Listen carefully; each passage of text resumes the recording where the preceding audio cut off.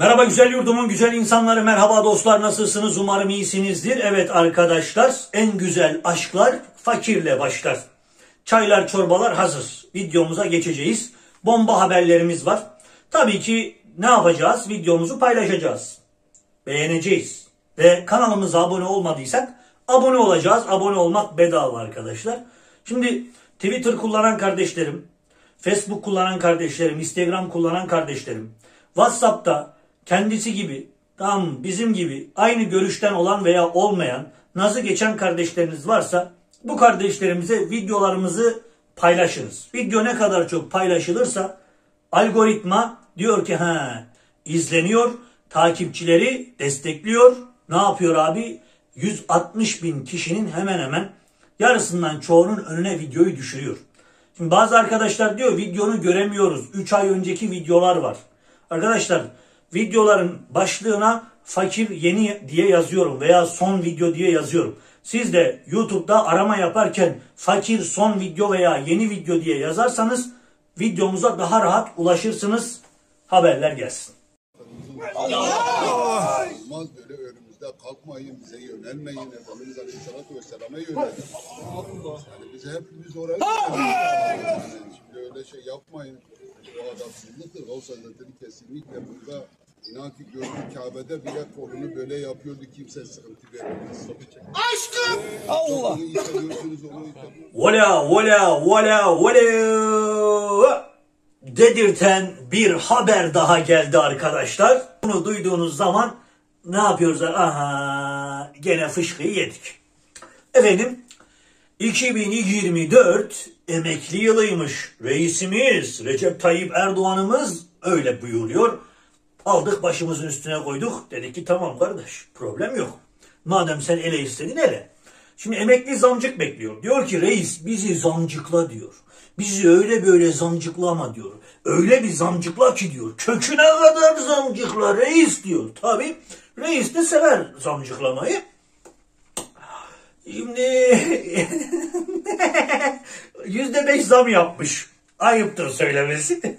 ya olur kardeş ya olur o kadar ya. Oğlum ekonomik kriz. Savaşlar. Tabi hak ve batılın savaşı. Haç ile hilalin savaşı. Allah Allah. Yüzde beş zam aldığın dua et. Ne oldu baba? Şimdi 7500 lira alan en düşük emekli maaşı 10 bin lira olmuş. Wow! 10 bin TL. Vay babasının goruna. Oğlum düşünsene. 10 tane bin lira lan. 10 tane bin lira. Oğlum manyak mısın lan? Daha reis ne yapsın lan? Allah aşkına sana yattığın yerden 10 tane bin lira veriyor. 100 tane 100 lira. Öyle düşün. İnşallah matematiğim yanlış değildir. 100 tane 100 lira lan. Daha ne istiyorsun oğlum reis? Yattığın yerden sana 100 tane 100 lira veriyor. Nankörsün oğlum sen. Malatya halay ekibi. Nankörsünüz kardeşim. Emekli arkadaşlar nankörsünüz. Yani gözünüze dizinize dursun lan. Geçinemiyorsun. Ağlayan ağlayan. Zırlayan salyalar, sümükler, fırtıklar. Herkes sokak röportajında ağlıyor. Pardon. İyi de kardeş. Hem bu kadar ağlıyoruz hem de sandığa gidip Erdoğan diyoruz. Ben sizi anlamadım. Yani derdiniz ne kardeş? He? Derdiniz ne? Ağlamayacaksın. Bunu sen hak ettin. Acımak yok. Ha, bizim gibi düşünen ama emekli olan, zor durumda olan kardeşlerimi bir kenara koyuyorum. Onlar başımızın üstünde ama bizim gibi düşünmeyen ve biz böyle düşünüyoruz diye bizi terörist ilan eden ama emekli olup acından ölenlere oh, oh, çatla, çatla. Acımak yok abi. Baba acımayacağım baba. Bana ne baba ya? Bana ne ya? Allah Allah. Tırığım çok da talaşımaydı. Ne oldu baba? Al. Bundan iyisi mi var? Ha? Bakırım adam bulamayacak. Muhalefette adam mı var ülkeyi bunlar mı yönetecek? Açlıktan ağzın kokuyor. Ha? Ekmek alamıyorsun fırından. Pokul. Ekmek alamıyorsun ekmek. Adam ne diyor? Ya, eve gitmiyor. Eve gitmiyorum. Karı bir şey yiyecek. Aramıyor canım. Ondan, eve gitmiyorum. Kahveye gidiyorum. Çay içemiyorum. Emekli adamım. Ee, kime oy veriyor? Erdoğan, Erdoğan, Erdoğan. ya, ya gerçekten bazen böyle çıldıracaktın ortada burnunu kıvırdıktın. Sakin ol arkadaşlar. Ne yapıyorsunuz oğlum? Manyak mısın fakir? Kafayı mı yedin lan sen? Kafayı mı yedin? Deli misin oğlum sen? Sakin ol. Böyle şeyler bak bunlar çok hoş şeyler değil. Karşı taraf seni kötü görür. Tabii iyi izlenim bırakman lazım oğlum. Biraz kendine çeki düzen ver. Euzu billahi mineş... Lan.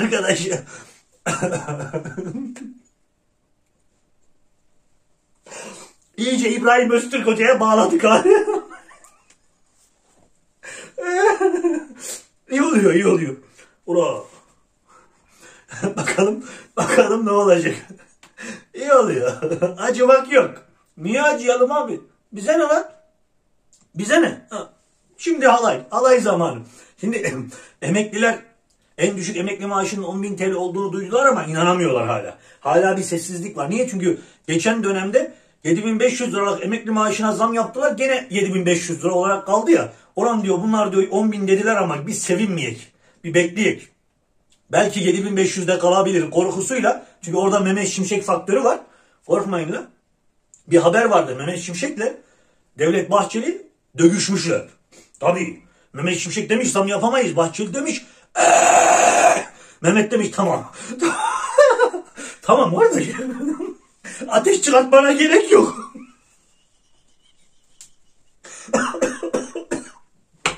Ulan bir bir bahçeli taklidi yapayım dedim hırtleği bıraktık arasını. Adamın piston aşağı demesi gibi bizim de hırtlek aşağı gitti. Arkadaş ya. Yok böyle bir şey ya. Allah'ım sabirin kabir. Kulu Allahu et. Bunlar döküşmüşler he. Bahçeli demiş ki bak bu seçimi kazanamayız. Vallahi bizim elimizdeki yerlerde gider adam gibi zamcık yap demiş. Mehmet de demiş bana yok.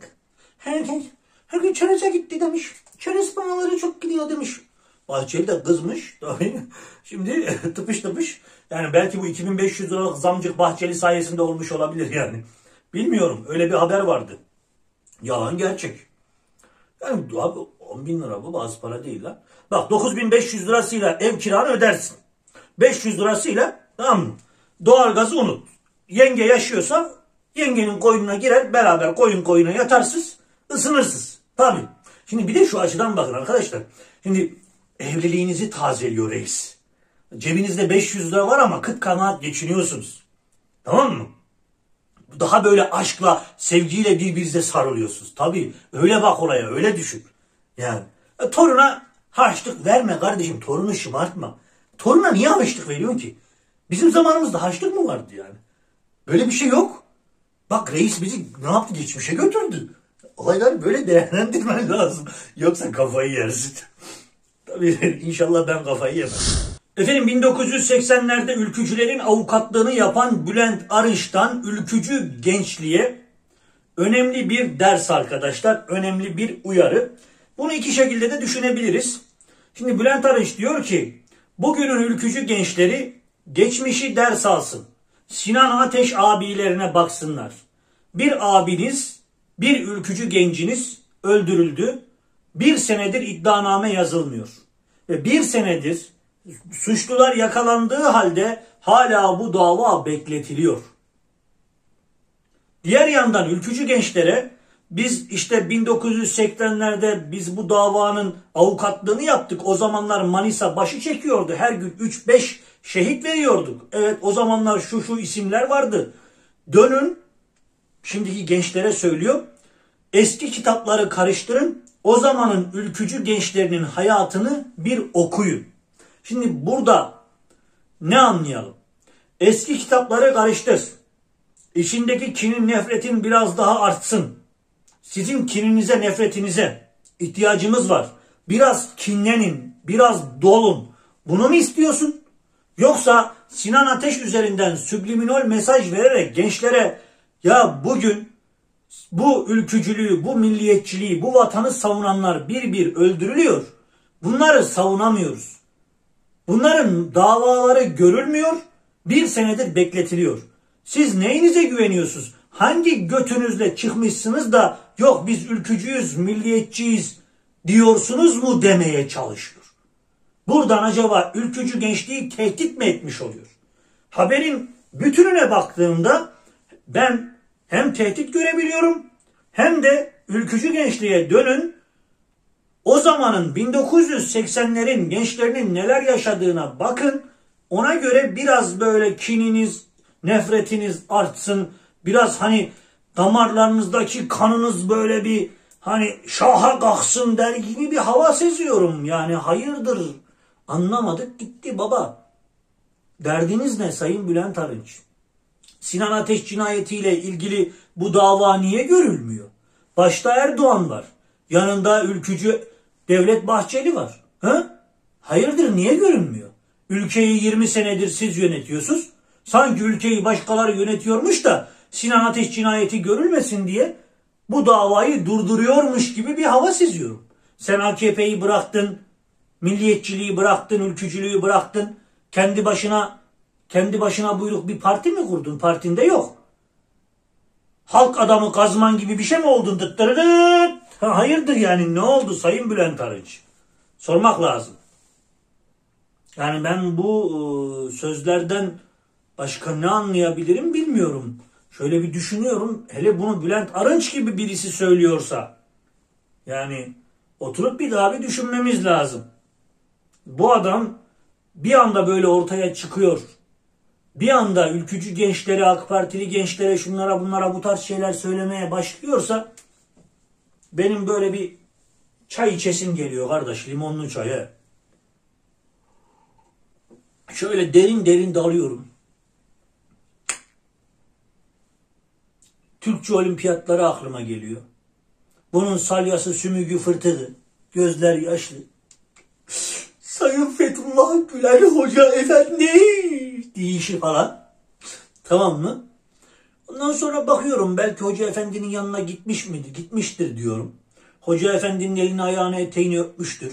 Tabii. Onun duasını almıştır diyorum. Ha. Sonra 15 Temmuz oluyor. 15 Temmuz sonrasında oğlu mu damadı mı birisi galiba bu FETÖ METÖ muhabbetinde cezaevine mi girecekti falan. Ondan sonra bu bir anda değişiyor falan filan Inter Milan, Galatasaray, Juventus, Fenerbahçe, Beşiktaş, Trabzon.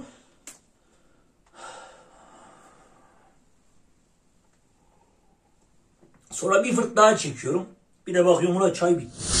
Efendim ülke seçime giderken kutuplaştırma mekanizması devreye giriyor. Şimdi kutuplaştırma mekanizması şeriat tabii bunun üzerinden hilafet üzerinden gidiyor.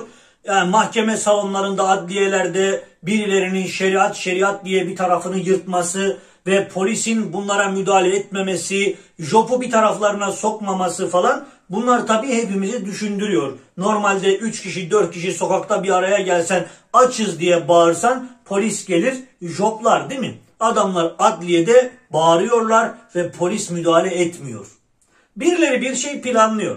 Şimdi sistem aynı sistem, taktik aynı taktik değişmiyor. Her zaman her seçim döneminde Kürt, Türk, Alevi, Sunni bu tarz şeyler oldu. Ha ne oldu şimdi? Bir ara tarikatlar, cemaatler muhabbeti oldu. Tekrardan 80'lere 90'lara geri döndük. O Erbe, Erbakan dönemlerine falan geri döndük arkadaşlar. Hatırlayanlar, büyüklerimiz, abilerimiz, ablalarımız bilirler. İşte Erbakan'ın yanlış hatırlamıyorsam mecliste tarikatlara iftar verme muhabbetleri falan bu tarz şeyleri daha dün gibi hatırlıyorum. O zamanlar çocuktuk ama yani 80'de 90 80 evet çocuktum hatırlıyorum. Evet hatırlıyorum. Doğru. Belki de sonradan izlettirdiler. Niye hatırladıysam. Neyse konumuza geri dönelim. İşte bayağı bir izledik biz bunları. Şimdi arkadaşlar 80'lerde 90'larda o tarikatların meclise gelip veya işte e, Necmettin Erbakan tarafından iftara davet edilmesi veya yemek verilmesi ve bunun akabinde de işte darbelerin olması, Erbakan'ın köşeye sıkıştırılması, İmam Hatipler bizim arka bahçemizdir. Biraz geniş anlatayım ki arkadaşlar e, daha da e, iyi anlaşılsın. Biz oylarımızın yarısından çoğunu işte askeri lojmanlardan alıyoruz deyip askeriyeden birilerinin atılmasına sebep olması falan bunların hepsini hepimiz biliyoruz. Hepimiz gördük. Ha burada Erbakan'ı suçlayanlar var. Burada Erbakan iyi yaptı diyenler var. Ben olayın orasında değilim. Aslında farklı bir açıdan bakmanızı istiyorum olaya.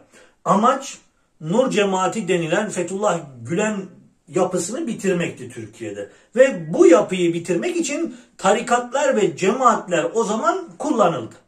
Bugün geldiğimiz noktada bunu görüyoruz. Yani tarikatlar ve cemaatler iftara davet ediliyor, asker devreye giriyor ama burada bitirilmesi gereken bu tarikatlar cemaatler değil. Kimse bu tarikatlara cemaatlere dokunmuyor. Kime saldırıyor? Fethullah Gülen ve ekibine. Dönüyoruz bakıyoruz demek ki bu tarikatlar ve cemaatler zaten bu sistemin bir parçası. Bunlar da zaten bu çarkın içerisinde bunlara hizmet ediyorlar. Değil mi arkadaşlar? Ortaya bu çıkıyor. Hizmet etmeyen de kim olmuş oluyor?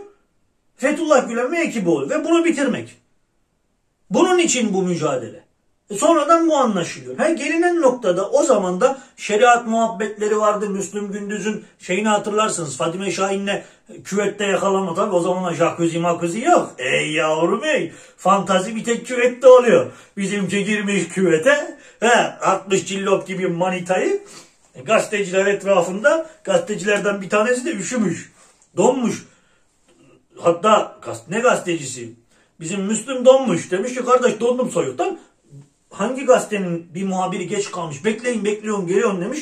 Sonra tabi gelince bunlar dalmışlar. Baba bizim şeyh yakalanmış manitayla. Ey ya lan ne günlerdi o günler. Neyse baba şimdi gelinen noktada tekrardan şeriat muhabbetleri var. Millet şeriat şeriat diye bağırıyor. Dönüm şöyle bakıyorum arkadaşlar. Şeriat isteyen kitleye bakıyorum. Şeriat isteyen kitle niye şeriat istiyor? Neden şeriat istiyor? Neden? Oysa ki 20 sene boyunca sizin adamınız bu ülkeyi yönetti. Değil mi? Müslüman dediğiniz vay be içki içmeyen, he, su içen, namaz kılan adam yönetti. Hayırdır ne şeriat? Ondan rahatsız mısınız? Onun yönetiminden rahatsız mısınız? Amaç burada şeriatin gelmesi, amaç burada Allah'ın kanunlarıyla hükmedilmesi değil arkadaşlar. Bunların derdi bambaşka. Bunlar şeriat meriat istemiyor. Bunların derdi başka. Bunlar aç gözlü bir kitle. Bunlar ne istediğini bilmeyen, tamam mı? Çalışmadan sınava girip Allah'a dua ettiğinde kazanacağını zanneden kitle. Bu kitle Gazze'de Allah'ın yardımının gelmediğini gördü, hala anlamadı. Tamam Biz şu anda bu haldeyiz mesela. Ekonomik sıkıntılar yaşıyoruz. Git bu kitleye sor. Niye ekonomik sıkıntılar yaşıyoruz? Şuradan iki ay önce İstanbul'da arababa işte sanayide yaptırıyorum. Bir parça eksikti gittim almaya. Parçacı tanıyor beni. Konuşuyoruz, muhabbet ediyoruz. Adam diyor ki abi diyor şeriat yok ya diyor. Ondan diyor ekonomi bu halde diyor. Böyle baktım adamın suratına. Şimdi ben benim bununla ne konuşayım ya? Ne diyeyim ben buna? Yani şey ülke şeriatla yönetilmiyor diye Allah bize kızmış. He? Demiş buna demiş hıyarın fiyatını pazarda 45 lira yaptım yaz. E, Melek de yazmış. Melek gelmiş pazarcıya demiş ki şimdi siz o zaman onları göremezsiniz tabi. Sabah pazar kurulur. Pazar kurulduktan sonra pazarın başında ve sonunda iki tane melek. Birisi rahmet meleği, birisi gazap meleği her pazarda vardır. Der ki bunlara hıyarın fiyatını 45 lira yapacaksın. Domatesin fiyatını 35 lira yapacaksın. Tabii ve pazarcılar yapmak zorunda kalırlar. Oğlum siz bunları bilmezsiniz. Bunları bilin. Bunlar keşif keramet işi. Neyse tabii böyle manyak mısınız lan siz? Siz, siz kafayı mı yediniz lan siz? Kafayı mı yediniz? Şöyle dön bir Avrupa'ya bak. Finlandiya'sı, İsveç'i, İsviçre'si, Hollanda'sı, Almanya'sı, İngiltere'si, Fransa'sı. Bir bak bakayım. Bir tanesi Müslüman değil. Hepsinin halkı mutlu. Hepsinin halkı huzurlu. Hepsinin halkında bir problem yok.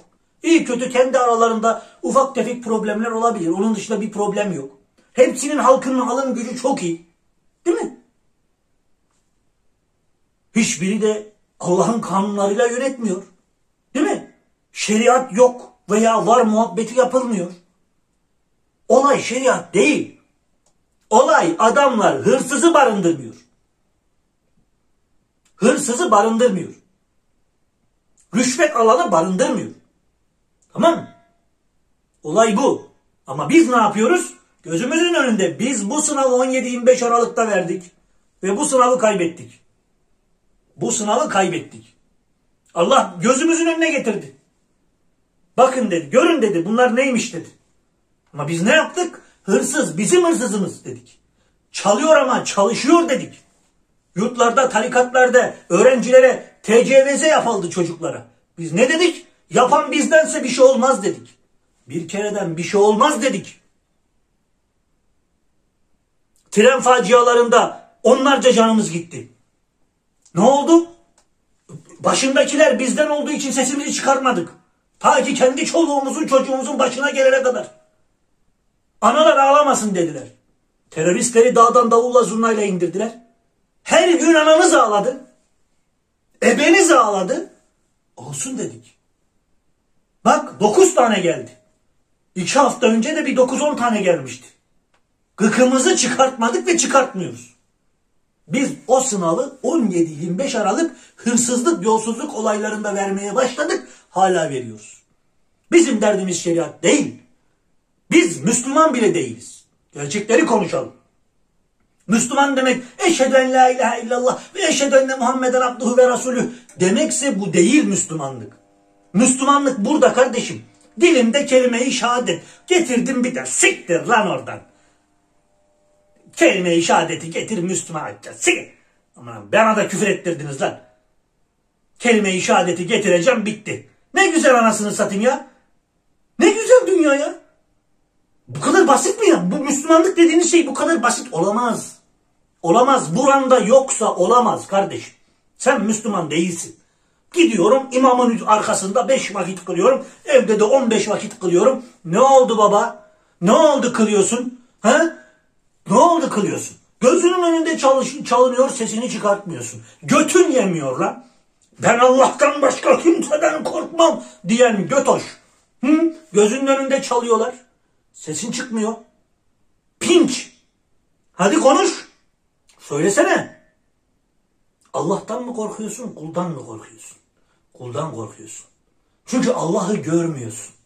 Belki de kendi iç aleminde Allah'ın varlığını, yokluğunu sorguluyorsun ama götün yemiyor, diline, diline dolayamıyorsun. Acaba var mı yok mu? Çoğusu bu Gazze meselesinde Allah'ı sorgulamaya başladı. Vallahi de billahi de Allah'ı sorgulamaya başladı. Bu Müslüman denilen Müslümanım diye ortada gezenler var ya bunların çoğusu Allah'ı sorgulamaya başladı. Daha da sorgulayacaklar. Dur. Daha ne? İşin sonunda bu ülkenin %99.9'unun ateist, deist belki farklı farklı inanışlar, şeyler çıkar onlardan olduğunu göreceğiz. Göreceğiz abi. Çünkü toplum bunu istiyor. Toplum bunu istiyor. Ahlak kalmadı kardeşim. Ahlakı bir tek kadının bacak arasına kadının giydiği kıyafete kadar düşürdünüz. Oğlum sizin kalbiniz ahlaksız. Sizin diliniz ahlaksız. Sizin beyniniz ahlaksız. Ahlakı bir tek buraya mı getirdin? Namusu bir tek kadının iki bacak arasına mı getirdik biz? Ben niye bu kadar sinirlendim? Ne bileyim anasını satayım. Çayım da kalmamış ya. Konuyu burada kapatıyorum. Arkadaşlar toplanan gıybet var. Efendim Galatasaray'ın karı bekçisi Icardi ve onun biricik eşi Vanlı Nara. Biliyorsunuz arkadaşlar Icardi sakatlanmış Arjantin'e denize gitmişler. Deniz bacağına iyi gelir diye. Tabi yalan. ne sakatlığı la. Adamın parasını vermemişler. Adam kaçmış. Bu da yalan olabilir. Haberde ne yazıyorsa onu okuyoruz. Tabi Icardi Arjantin basınına e, Icardi Vanlı Nara Arjantin basınına Icardi ile ilk buluşmasından bahsediyor. Bir tekne turunda buluşmuşlar tabi. Teknede konuşuyorlar, muhabbet ediyorlar. Tam o sırada Icardi'nin iki tane telefonu var. Bir tanesi normal Vanlı Nara'ya verdiği numara, diğeri de kadınlar ve iş sektörü. Tabii. Bizim Vanlı Nara hersi çıkmış, kızmış. He. Ola demiş bu ne demiş. Sarı civciv. Demiş ki ya diğer kadınlar ve e, iş hayatı falan. Hmm. Almış telefonu iPhone he. 12 Plus. Plus her ne zıkkımsa atmış denize. Ondan sonra tabii bunlar suya girmişler. Suda telefonu ar- arıyorlar. Hava karanlık. Telefon bahane he. Yakınlaşacaklar. Ey yavrum ey. Tabii bunlar telefonu alırken bir o dalıyor bir bu dalıyor. O onun bacağından tutuyor falan filan. Romantizm almış başını gitmiş. E sonra ne olmuş? E ne olacak işte mercimeği fırına fırını mercimeğe vermişler. E, tamam bundan bize ne diyebilirsiniz ne bileyim vallahi gördüm hoşuma gitti. Lan arkadaş ya.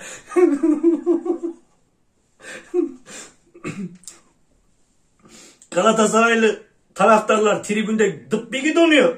Futbolcular sahada koşuyorlar. Neyse o örneği vermeyeyim. E bizim Icardi gitmiş Arjantin'de deniz kenarında e, manitayla pişti oynuyor. Bu hayattır. Hadi buyur. Bu hayattır. Adı da ne? Vay efendim sakat. Ya bu- abi Allah aşkına ya. Kadın 4 saatte bir ağrı kesici almış. He, ele etkili. Ablam Allah'ın kitabını severse. Yani ben senin eski fotoğrafını gördüm. Yani eşhedü en la ilahe illallah ve eşhedü enne Muhammeden abduhu ve rasulüh dedim. Kız benden de çirkinsin. Yani Icardi senin sufatına bakmak için kim bilir kaç tane ameliyat geçittirdi sana. Burnunu yaptır, dişleri yaptır, dudağı yaptır, e, göğüs taktır, e, dıp bigin yaptır. Daha ne kaldı baba? Baştan yaratmış gibi bir şey oldu haşa ve kella. E, yeter ki sufatan bakılsın. Ben şunu anlamadım. Yani baban zengin değil, anan zengin değil. Mısır'da e, sana herhangi bir şey bırakacak dayın deden bibin yok. E, Icardi sana neye bu kadar para harcadı kardeş? İşte para çok olunca insan ne yapacağını şaşırıyor. Sevaptır demiş adam harcamış buna parayı. Harcadıktan sonra da ona demiş ne güzel oldu bu. he." Ya abi Allah'ım yarabbim ya Resulallah. Biz de burnumuzu yaptıramıyoruz. Hadi buyur. Bir buruncu bulamadık. Ne yapak biz de bir tane Icardi mi bulak burnu yaptırmak için? Düşündürücü. Burası da tam siftahlık yermiş yani. Senin de aklın fikrin hep şeyde. Şeyde mi? evet.